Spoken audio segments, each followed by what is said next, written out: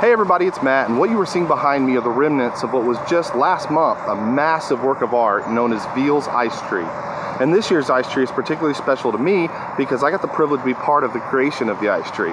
And it all started about a year and a half ago. I moved into this suburban Indianapolis neighborhood, and as winter was coming, everybody was telling me, You have to go check out this ice tree, you have to go check it out. And so I did, and I was blown away. I fell in love with it. I liked them on Facebook, and I followed them all through the summertime waiting for next year's ice tree. And on November 22nd, they posted on their Facebook that they needed help raising the frame for the ice tree and they needed some photographers. So, threw my GoPros in my bag and I came on down here.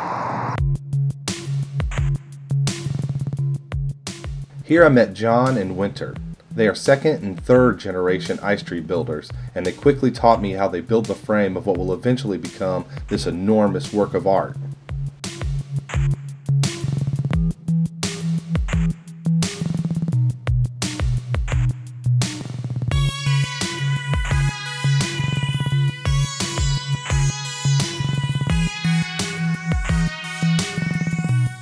As we work, John tells me about how his family has been building this seasonal attraction since 1961, when it was all started by his father, the first generation ice tree builder.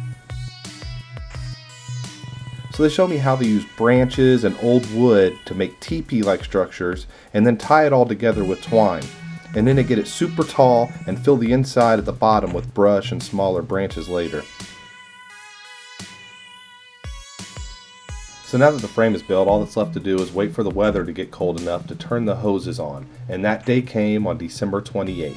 So by December 30th, I had to go for a visit, and I was surprised to see the ice had already grabbed hold.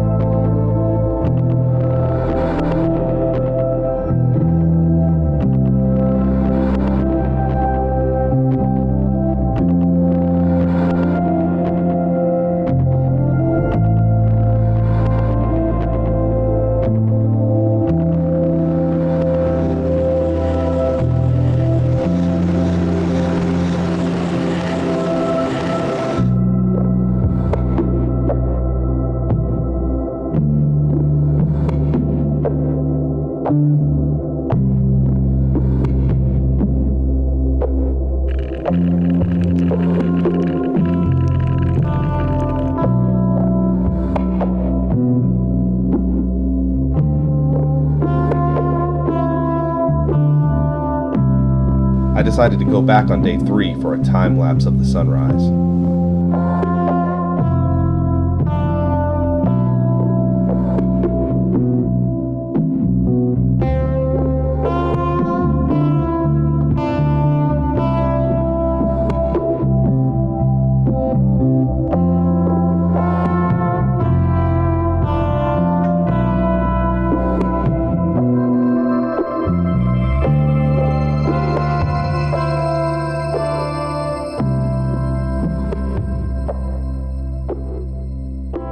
Over the next week, the ice tree grew rapidly, and by January 8th, it was already a spectacular sight to see.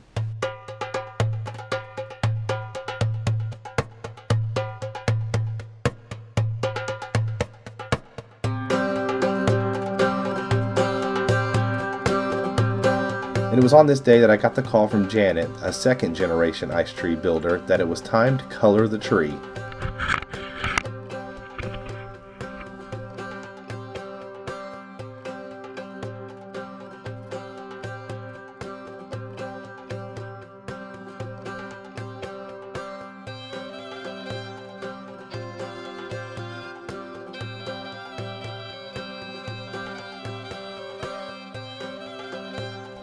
Janet is quite the artist, as you can see here, as she took her time to put the magical touch on this beautiful tree.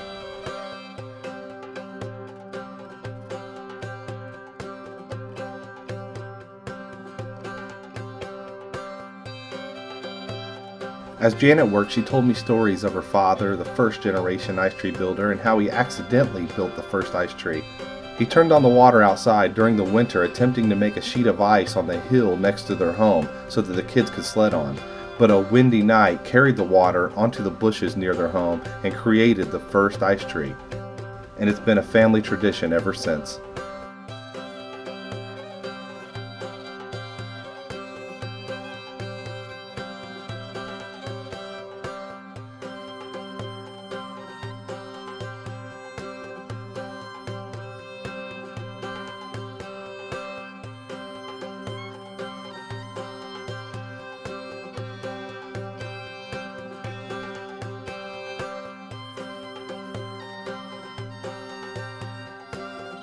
And as the winter rolled on, the ice tree just grew and grew to approximately 50 feet this year, and boy was it a glorious sight to see.